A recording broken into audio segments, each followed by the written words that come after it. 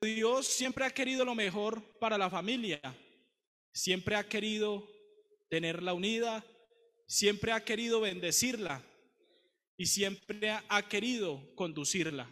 Amén. Pero por causa de la desobediencia vienen las consecuencias. Y la pregunta en esta noche es, ¿qué es una familia? Amén. ¿Qué es una familia? Quizás muchos dirían que una familia es un grupo de personas conformadas por un padre, por una madre e hijos. Amén. Y sí, tienen razón. Una familia se conforma por estos individuos, pero realmente estas tres personas forman una familia. Hoy hay algo especial que los hace, los que los hace llamar familia. Estuve investigando y mirando y se dice que hay un vínculo muy importante que hace que se forme una familia. Y esa es la unión. Amén. Estar unidos. Cuando hay una familia unida, entonces hay victorias. Encontré una frase que me llamó la atención y la quiero traer en esta noche, que dice, familias fuertes hacen iglesias fuertes. Iglesias fuertes hacen una sociedad fuerte. Amén. Así que tenemos una tarea muy importante y tenemos una tarea por la cual nos tenemos que preocupar y es por fortalecer nuestra familia. Tenemos el deber y la obligación con Dios de ayudar a nuestra familia, de guiar a nuestra familia, de corregir a nuestra familia, de instruir a nuestra familia. Pero esto no se puede hacer por nuestras propias fuerzas, porque si lo hacemos por nuestras propias fuerzas, fácilmente fracasamos. Para poder hacer todas estas actividades, se necesita de la ayuda más grande y más maravillosa. Se necesita de la ayuda del Rey de Reyes y Señor de Señores. Si hay alguno que lo crea así, ¿por qué no le da un fuerte aplauso al Señor Jesucristo en esta noche?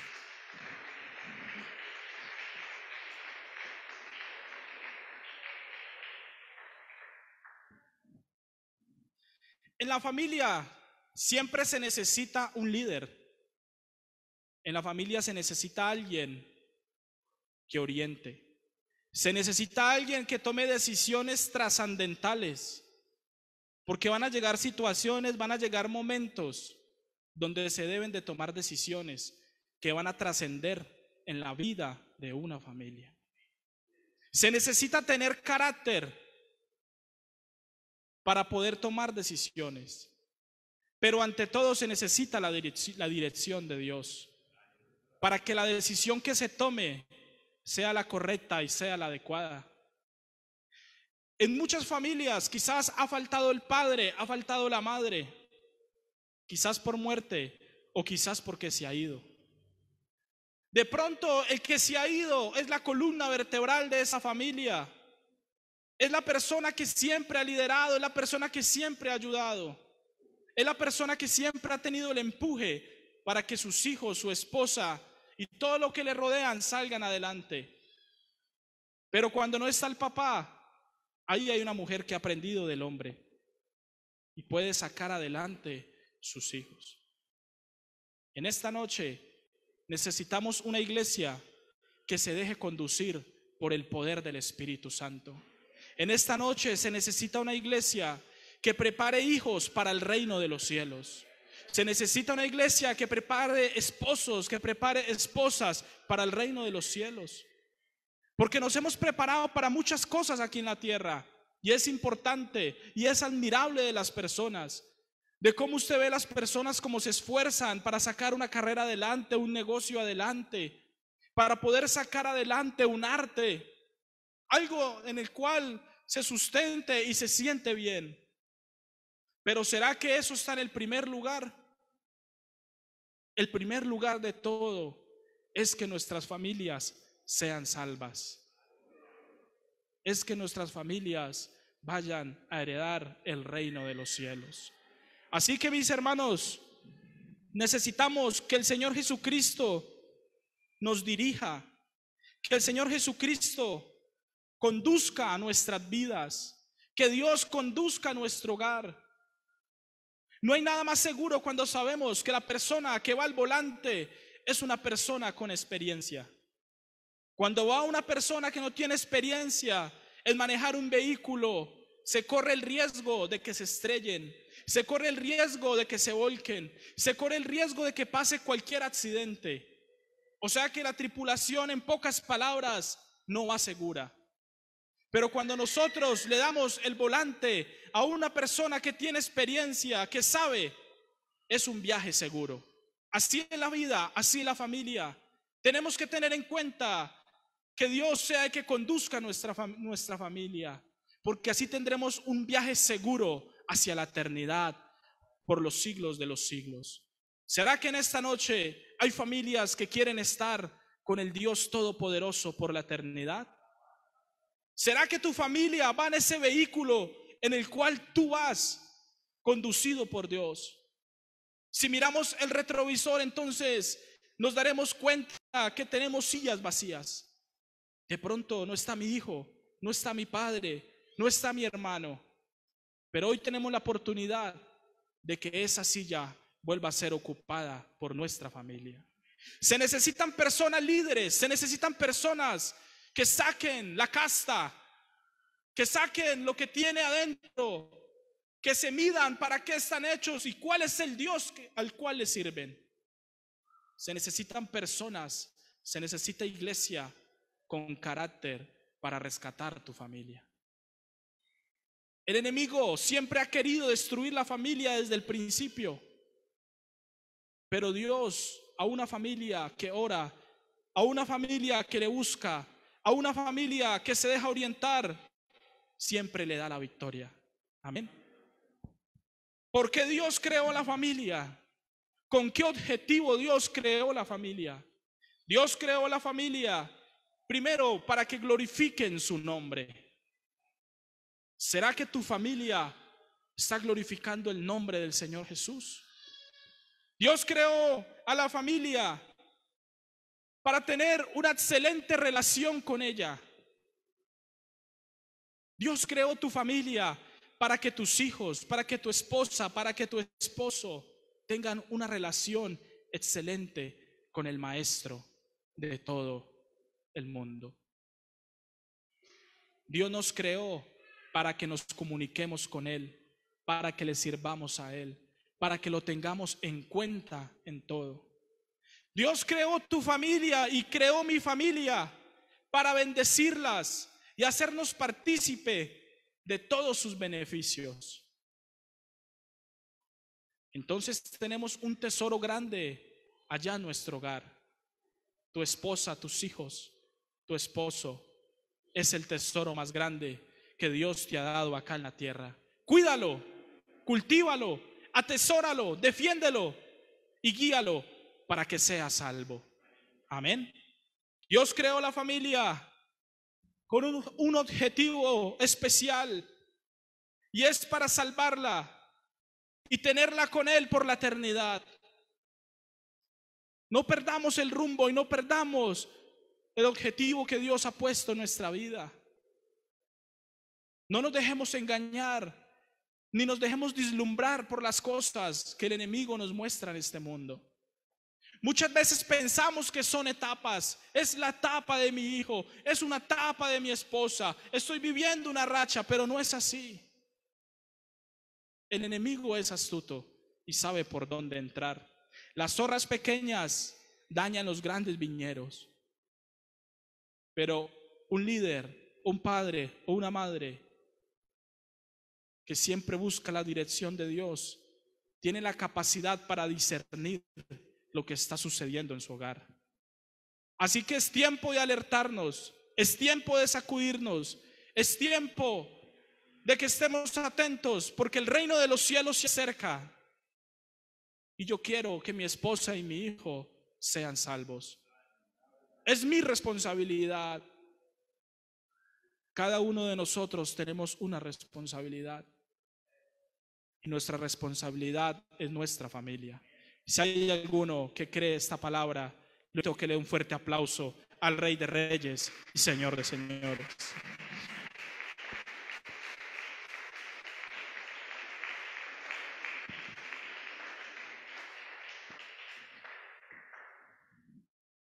El Señor Jesucristo diseñó una familia y el eje central de la familia, el eje central de todo, el que está en primer lugar es Dios. Amén. El que está en segundo lugar es el papá, que es el encargado, que es el líder espiritual de la casa. En tercer lugar se encuentra la mamá. Y la madre cumple un rol muy especial. Las mujeres son muy hermosas y las mujeres siempre se preocupan por su físico. Pero hoy Dios quiere que la mujer, así como se preocupa de su físico, también se, se preocupe de su corazón. Porque cuando una mujer tiene un corazón sensible y un corazón de amor, esa mujer ayuda a su hijo emocionalmente. No lo trata mal, no le dice malas palabras, lo corrige con amor, lo orienta con amor, lo aconseja con amor. Pero eso solamente lo hacen las mujeres que han buscado el eje central, que han buscado la presencia de Dios. Y en cuarto lugar se encuentran los hijos, que son los que hacen la unión de una familia, que son los que hacen la unidad de una familia, que son los que motivan a una familia a seguir adelante, a sacarlos adelante. Por eso, mis hermanos, cuidemos a nuestras familias y dejemos que Dios nos dirija, que Dios conduzca nuestro hogar. Amén. Hay una familia en especial que me llama la atención y es la familia de Noé. Dice la palabra de Dios en el verso 9. Estas son las generaciones de Noé. En pocas palabras, esta es la familia de Noé. Pero mire Dios cómo se describe ante este hombre. Dice que Noé era un varón justo. Dice que Noé era un hombre perfecto en sus generaciones. O sea que Noé era un hombre ejemplar. O sea que Noé era un hombre que se dejaba dirigir por Dios. Y más adelante dice, con Dios caminó Noé. O sea que había un buen director ahí, había un buen guía ahí, para que la generación de Noé se pudiera salvar. Y dice que Noé engendró tres hijos. Ahí viene la generación de Noé. Dice que tuvo a Zen, a Can y a Jafet. También dice que la generación en la que vivía Noé no era una generación fácil. Y si analizamos en, en nuestra generación, no estamos viviendo una situación fácil. Si salimos a la calle nos encontramos con muchas cosas. Y el miedo de los padres es que su hijo se encuentre con la droga, es que se encuentre con el mundo. Pero la generación de Noé también era una generación perversa. Tanto llegó al punto que Dios se arrepintió de haber creado al hombre. Pero la pregunta en esta noche es, ¿cómo hace una generación para subsistir en una tierra tan desordenada? Y solamente hay un secreto, que había un hombre que caminaba con Dios, que había un hombre que tenía carácter, que había un hombre que tenía palabra en su casa, que había un guía que, que ayudaba a sus hijos para que fueran salvos. Es fácil guiar a nuestros hijos siempre y cuando Dios sea nuestro ayudador. Amén. Hay algo especial y es que cuando Dios formó la familia de Noé, Dios le dice a Noé, y habla como un amigo y le dice, bueno, Noé, te voy a contar mis planes. Voy a destruir la tierra. Para que Dios le cuente los planes a un ser humano es porque hay una relación exquisita. Dios puede contar los planes de tu familia a ti, pero nos tenemos que preocupar por la relación que tenemos con el Maestro, con nuestro Salvador. Él es el que nos guía, Él es el que nos ayuda. Y le cuenta los planes a Noé. Y le dice que solo hay una manera para que su familia sea salva. Y le dice, no escucha atentamente. Tienes que construirte una barca de tales dimensiones. Y para construirla, la tienes que construir con tu familia. Noé no construyó esa barca solo. Noé tuvo la ayuda de su esposa y de sus hijos y de las esposas de sus hijos. No fueron ni cinco ni diez años. Dice que aproximadamente fueron más de cien años construyendo esa barca. Cien años donde Noé formó su carácter, formó el carácter de sus hijos, los guió para que siguieran adelante. Quizás muchos se quisieron desanimar, pero ahí estaba Noé para decirlo, hijo mío, no te salgas de la barca. Construyamos esta barca. Todavía estamos a tiempo de construir nuestra barca. Todavía estamos a tiempo de tomar decisiones trascendentales en nuestra familia. Que ninguno de nuestros hijos ni nuestra esposa se salga de la barca. Y esta barca se llama Jesús de Nazaret. Esta barca se llama Jesús de Nazaret. Si hay alguno que lo cree, ¿por qué no aplaude a la palabra de Dios en esta noche?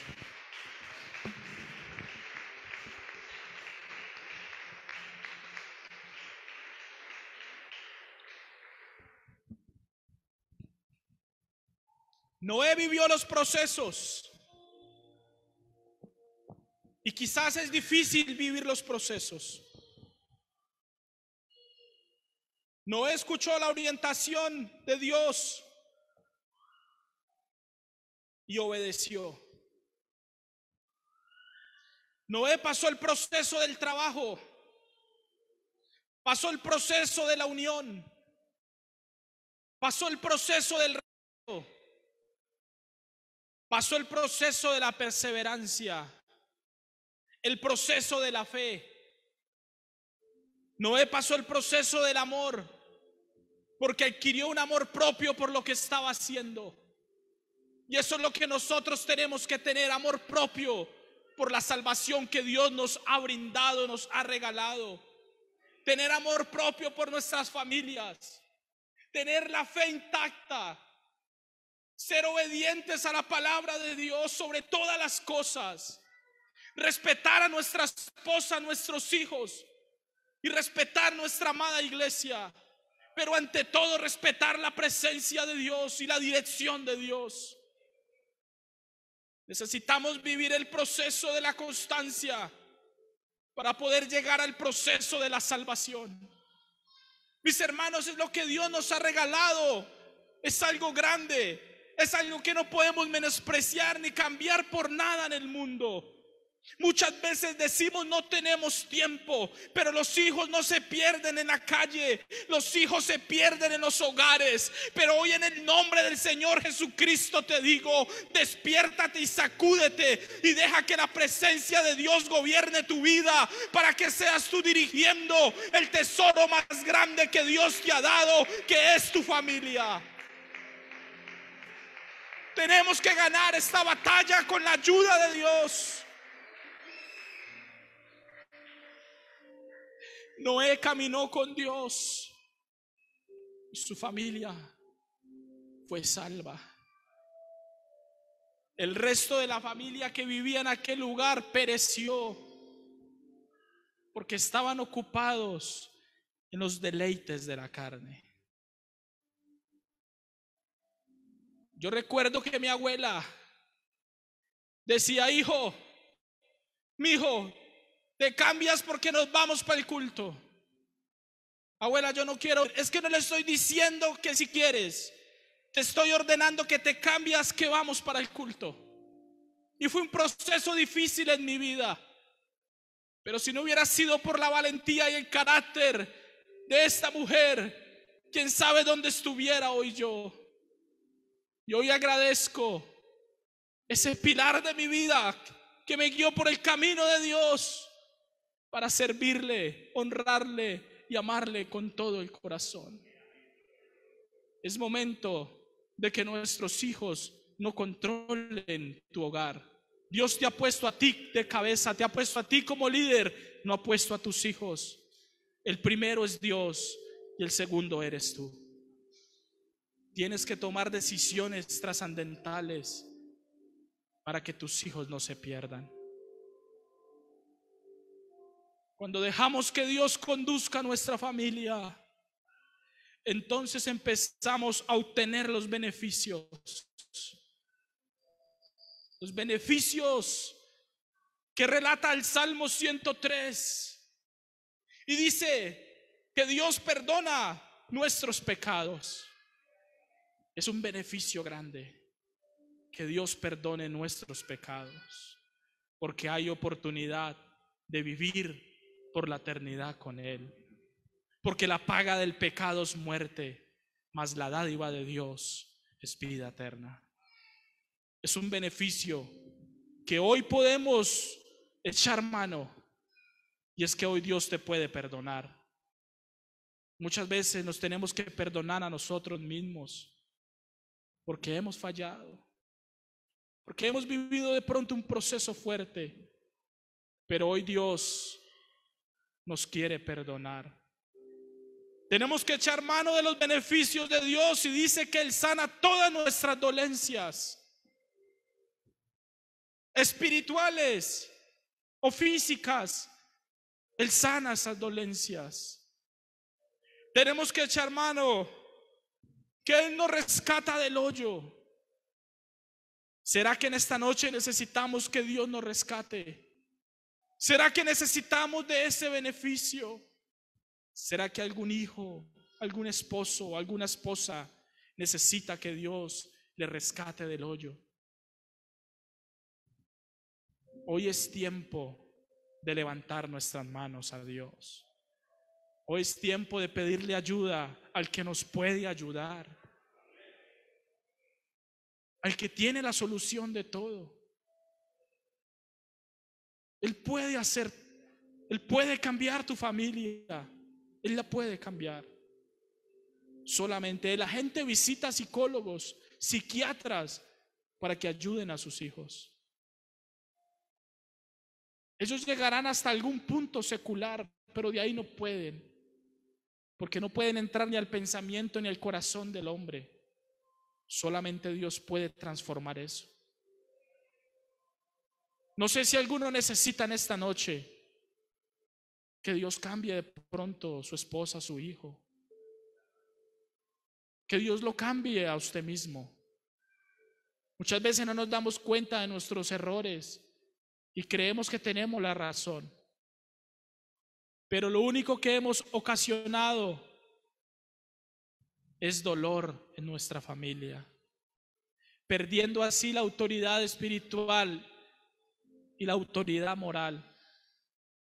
Pero hoy hay oportunidad de rescatar nuestro tesoro, de rescatar nuestra familia, de luchar por nuestra familia, de amar nuestra familia, de cuidar nuestra familia, de enseñarle a nuestra familia, de dejarnos guiar por el Espíritu de Dios. ¿Por qué no se ponen sus pies, mis hermanos?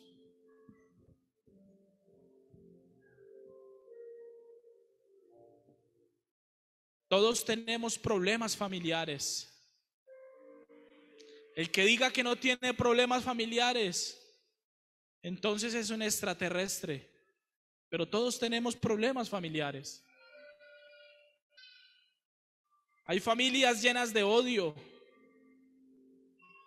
Hay familias llenas de envidia. Hay familias llenas de pereza. Se estancan y no quieren trabajar para seguir adelante. Pero hoy Dios nos enseña por medio de la palabra que sí se puede. Que hubieron hombres ejemplares que marcaron la diferencia en la Biblia. Y uno de ellos es Josué. Josué 24:15 establece que su familia le debe servir a Dios. Yo y mi casa serviremos a Jehová. También encontramos un Job que santificó a sus hijos, oraba por sus hijos y pedía perdón por sus hijos.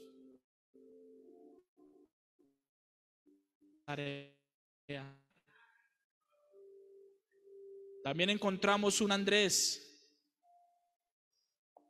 que llevó a su hermano para que conociera de Cristo. Y tenemos un Abraham que era una influencia espiritual para su familia. ¿Qué influencia eres tú para tu hogar? Tenemos una carga pesada en nuestros lomos. Tú eres la influencia de tu casa. Así como tú hablas, así como tú te diriges, así como tú te expresas, de eso reciben tus hijos. Si tú vienes al culto y hablas mal del culto, pues tus hijos van a coger pereza al culto. Si tú dices que pereza ir un jueves o que pereza ir tal día porque no hay tal cosa, entonces tus hijos van a coger la misma pereza. Tú eres la influencia de tu hogar, tú eres la influencia de tu casa. No te dejes influenciar por las cosas vanas, déjate influenciar por el poder del Espíritu Santo y verás los cambios en tu casa.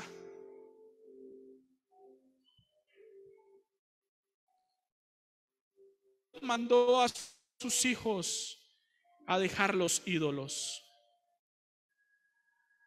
Es tiempo que tú mandes en tu casa a que los hijos dejen los ídolos y sirvan a Dios. ¿Será que en esta noche hay alguno que quiere orar por su familia? Si hay alguno, lo invito que levante sus manos al cielo y le pida a Dios por su familia le pida a Dios por su responsabilidad. Le pida a Dios por su hijo, por su hija, por sus hijas, por sus hijos, por esos tesoros tan grandes. Le pidas a Dios por tu madre, por tu padre, por tus tíos.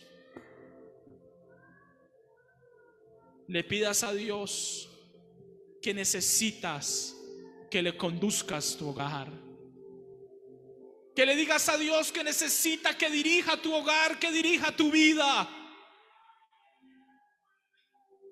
Que le pidas a Dios que te devuelva la autoridad espiritual y la autoridad moral sobre tu hogar.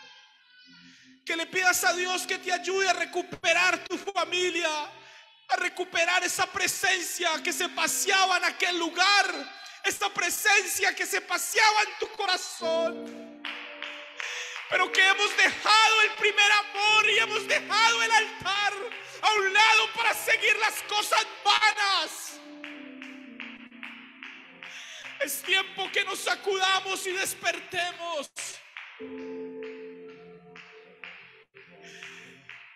Es tiempo que nuestras familias estén consagradas para Dios, que nuestras familias respiren la presencia de Dios.